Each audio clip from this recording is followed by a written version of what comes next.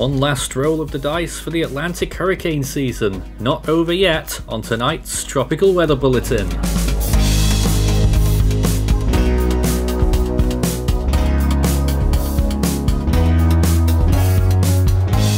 And now the latest around the wide world of tropics. Tropical Weather Bulletin for November 22nd. So we've been absent for a few days, but so have the tropics to be fair. Not much has happened at all. We are code blue. If you missed it, Tropical Storm Midhili did briefly form in the North Indian Ocean and made landfall a few days ago in Bangladesh. But now we're looking towards the Atlantic once more because there is a 50% chance of development for a frontal system that's currently over the central Atlantic there day 175 of hurricane season, and it could eventually spin up into a subtropical or tropical cyclone and then curl up towards the northeast, round the Azores, and possibly impact those islands as it turns post tropical next week. In the Eastern Pacific, the National Hurricane Center have still got an area of interest marked in the middle there at 20%. We're not very fussed on that at all at this stage, so we've not marked it anymore. Uh, we did have it the other day, uh, but now it's scrubbed from our books. And in the Western Pacific, we've got a 20% area of interest that we've marked just off the coast of southern Vietnam. That could eventually become a tropical cyclone into the Gulf of Thailand, either before or after the Malay Peninsula. Other models suggesting it could become a storm in the Indian Ocean later on in the week, next week probably, and passing through the Andaman Sea into the Bay of Bengal. So that's something to watch long term for potential development either east of the Malay Peninsula or possibly west there later on. And in the European region, the Mediterranean Sea, we have marked a 10% area of interest that might try its luck uh, just off the southwestern coast of uh, Sicily in uh, Italy, and then will eventually move into Tunisia and Algeria. Let's take a look at some satellite imagery then. This is the Atlantic right now. There's that big frontal system over the central part of the basin really taking hold across a large area there. Now it's not going to spit out this system anytime soon. It will probably be on day two, maybe even day three or four. So we can't really look at anything yet. This is the Eastern Pacific area of interest, which to be honest doesn't look too bad. Uh, rotation is a little bit there, but not fully at all. Uh, convection certainly playing its part on the western and northwestern side there, blowing up quite significantly, although just uh, fading away at those last few frames, a little bit blowing up again on the right hand side there. Um, a very late season hopeful system that probably won't form. Now this one definitely won't form I think. The Atlantic Caribbean, there was another area of interest if you missed it. 99L, well there it is right now, looks horrid really, uh, off the coast of Venezuela. And now looking at the Western Pacific region around the Philippines, there's a bit of convection there off the eastern islands, but look further towards the left hand side of your screen and you can already see the precursor there to what might become that next system. A big horde of clouds really uh, towards the southeast of southern Vietnam in the southern part of the South China Sea and some of that extending towards the coast of uh, Malaysia and possibly even Thailand as well. So we could see developments on this in a few days, but certainly nothing just yet, except for possibly some elevated rainfall. And speaking of which, this potential system would deliver huge amounts of rain if it did form. While sea surface temperatures still remain opportunistic for parts of the eastern Pacific, especially where that invest is. The highest uh, temperature there near 30 degrees off the coast of Mexico. The Caribbean is still pushing it as well, uh, 29 to 30 degrees Celsius, and still a little bit of a loop eddy there into the uh, Gulf of Mexico keeping things relatively warm, uh, but overall the Atlantic is of course cooling as you would expect at this time of year.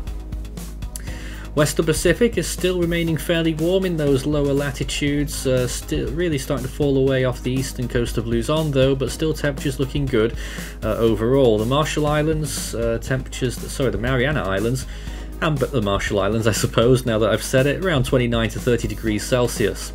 Bay of Bengal still staying fairly warm as well, especially south and east where this system could develop. What you usually see at this time of year is systems that blow up over the central part of the bay and then weaken rapidly before landfall further north. And this is the southwest Indian Ocean, uh, where you can see those temperatures really warming up off Madagascar, very warm off the coast of Western Australia and the Northern Territory, and really warming up in the Gulf of Carpentaria as well. A warm spot now in Vanuatu and off the northern islands of Fiji and Nova Samoa, very warm temperatures there as well, really getting into the summer spirit down there.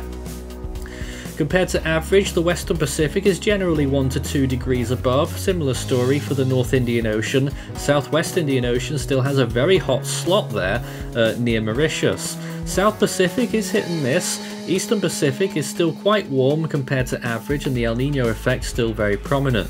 The Atlantic is quite above average there as well, especially in the eastern subtropical zone where that system could develop. Oceanic heat content though is not over there, it is in the Caribbean still a few spots, certainly not as much as when we were looking out for potential Tropical Cyclone 22 last week. In the Eastern Pacific, there's still a few little um, holdouts there, well out to sea, and in the Western Pacific, it's really starting to fizzle out there as well. And what a drab season overall it's been in terms of numbers there in the Western Pacific, and it really is going out with a whimper by the looks of things. So here's the GFS computer model then looking out towards the next five days and you can start to see this system take effect. Eventually from that big front is a broad system, a system that struggles to wrap around properly.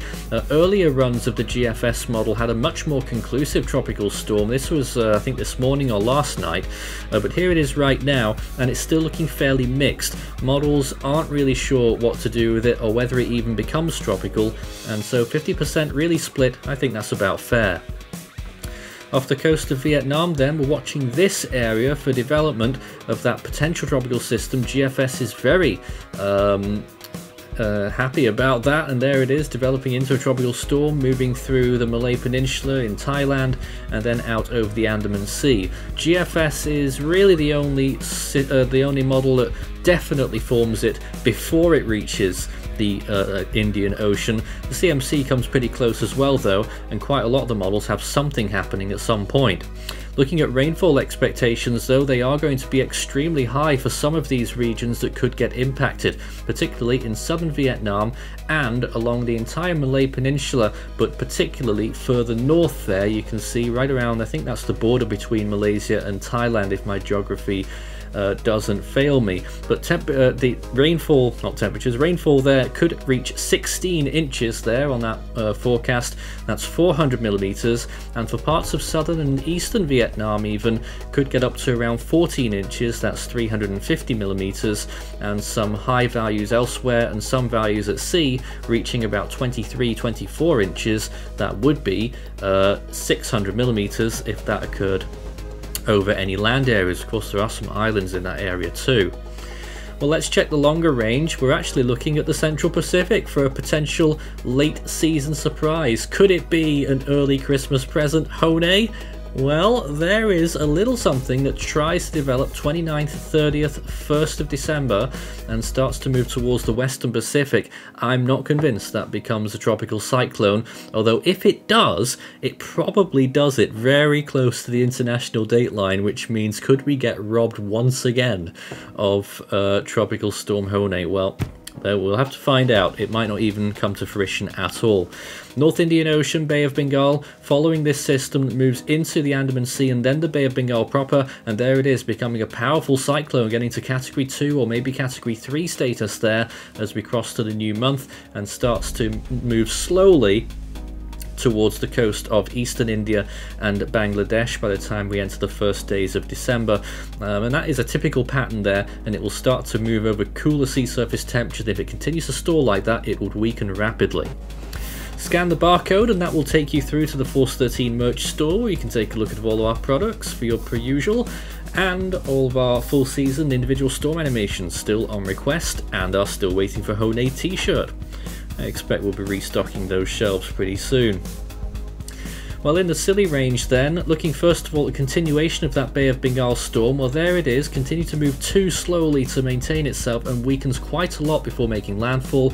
Still a strong tropical storm there, but that's around the 3rd or 4th of December, of course, it's still very far out for a system that hasn't even developed yet, so I wouldn't put any uh, worry into this at this point, uh, but certainly something to be mindful of as we get closer towards the end of the month, and certainly at this time of year, even into late December, you can sometimes see tropical impacts up towards Bangladesh.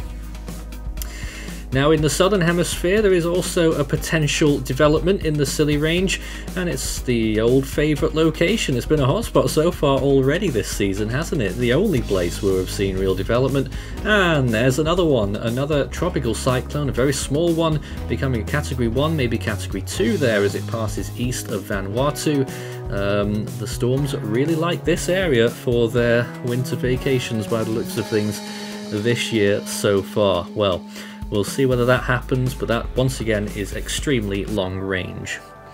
You can talk about all of this on our Discord server, discord.gg slash force13 for tropical weather and general weather chat with thousands of members from all around the world. Well, on this day was another bit of a surprise. A bit? A lot, probably. Uh, Cyclone Gati. Who could have forecasted that one on November 22nd, 2020? Crazy year for many reasons. And threw up a Category 3 out of almost thin air as it moved on towards the coast uh, of Africa as a very powerful Storm weakened drastically as it made landfall in Somalia and started to move northeastwards, peaked as a 115 mile per hour category 3 and the only system that was presently active on this day three years ago. Well, back to today then, and we are Code Blue. That's for the Western Pacific system, by the way. In the Atlantic, the next name is still Vince. A lot of people thought we'd get it last week. It never came to fruition, never even looked close to doing it. In the Eastern Pacific, the next name is Ramon, and in the Central Pacific, of course, it is still Hone. In the Western Pacific, the next name now is Jelawat. In the North Indian Ocean, it's Michaung. And goodness knows how that one's pronounced. And moving on towards the southern hemisphere then, coming up on the naming list in the Australian region, the next name is Jasper, Southwest Indian Ocean, still waiting to start with Alvaro, and in the South Pacific the next name is Nat. Hopefully we're back to normal service and we should have another tropical weather bulletin tomorrow night.